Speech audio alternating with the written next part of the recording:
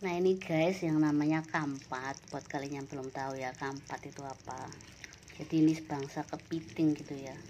Tapi agak kecil agak bulat. Kayak yuyu kangkang. Kalau di kampung itu yuyu gitu ya.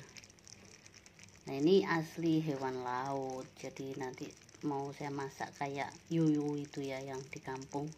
Dimasak bobor.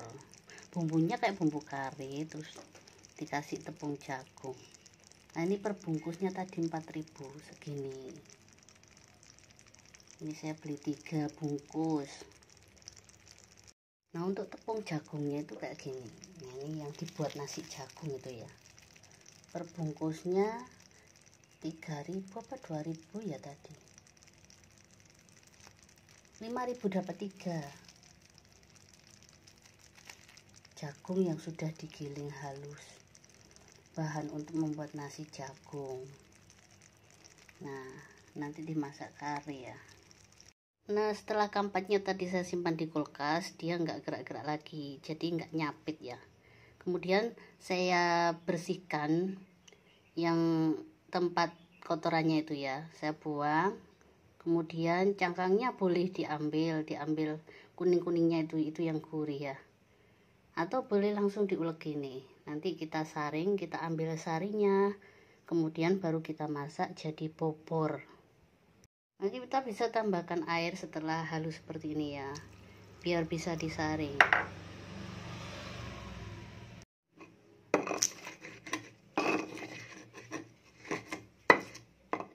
Lalu kita saring. Nah ini sesudah dimasukkan uh, ampok jagungnya seperti ini kalau tidak ingin mengental kayak gini ya ini kan ada yang gak rata kayak gini.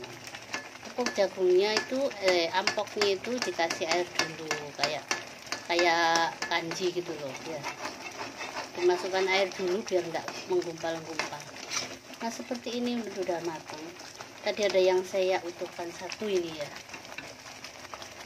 Kalau yuyu kangkang dia hitam tapi ini kan merah ya Nah ini hasilnya setelah kompor saya matikan dia nggak meletup-letup lagi kayak tadi ya.